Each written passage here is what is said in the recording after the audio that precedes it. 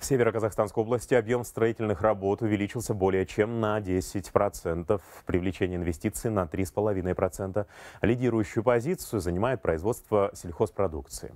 По мнению главы региона, мощный импульс дал комплексный план развития и э, запуск пилотного проекта по льготному финансированию крупных инвестпроектов через СПК. Реализовано 35 проектов на сумму более 35 миллиардов тенге.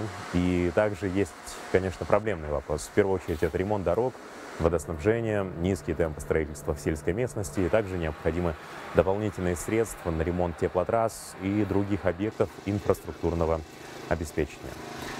Кроме того, одним из сдерживающих факторов развития экономики региона является отсутствие газа. Потенциальные инвесторы не готовы реализовывать свои проекты.